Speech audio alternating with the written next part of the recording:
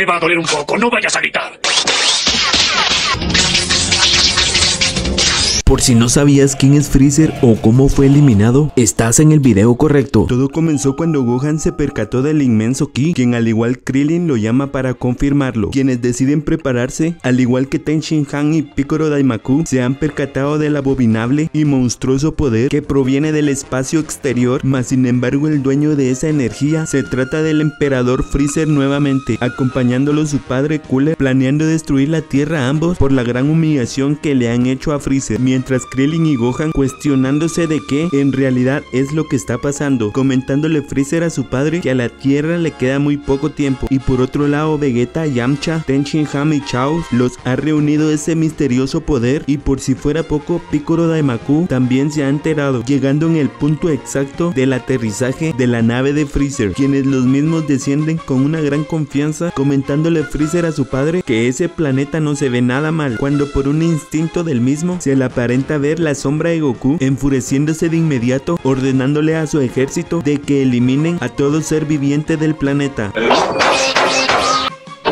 apareciéndose un chavalón misterioso quien ha derrotado a los mismos de un solo golpe, dejando impresionado a Freezer y a su padre, mientras el mismo les comenta que no tienen escapatoria, cual la respuesta de Freezer es, a lo mejor él mismo no sabe de con quién está lidiando, respondiéndole Trunks que él los derrotará sin ningún problema, llegando al límite de Freezer da la orden a que acaben con el muchacho misterioso. Te va a doler un poco, no vayas a gritar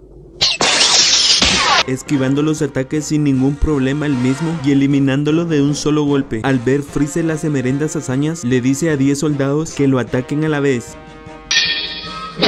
Pero ni así pueden detener al chavalón, colmando la paciencia del mismo, diciéndole a Freezer que Goku no es el único Super Saiyajin, que ahí tiene otro enfrente de sus ojos, a la cual Freezer saca una risa muy burlista, pero por muy poco tiempo.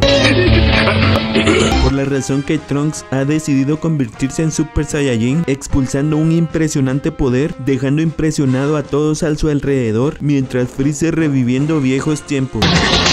enfureciendo demasiado al emperador Freezer, causando que el mismo se le suba la sangre a la cabeza, atacando con todo su poder al chavalón y como ve que no hay resultados, decide atacarlo con su poder máximo, ya que lo único que quiere es desaparecer al Super Saiyajin, no importándole las consecuencias, pero el chavalón detiene esa energía sin ningún problema, decidiendo intervenir nuevamente Freezer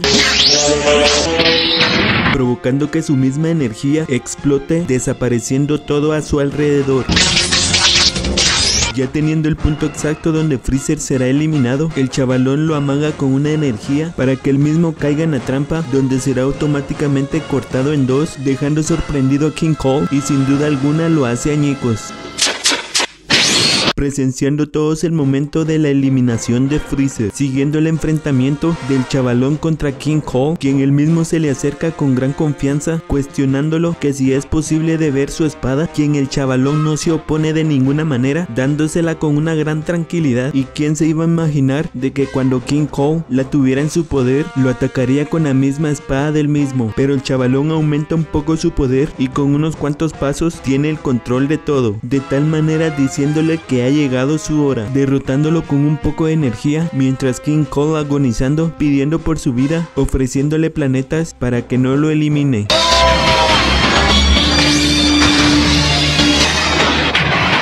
y fue de esta manera que Freezer fue eliminado en verdad con el poder de Tron Chotoro que vino del futuro.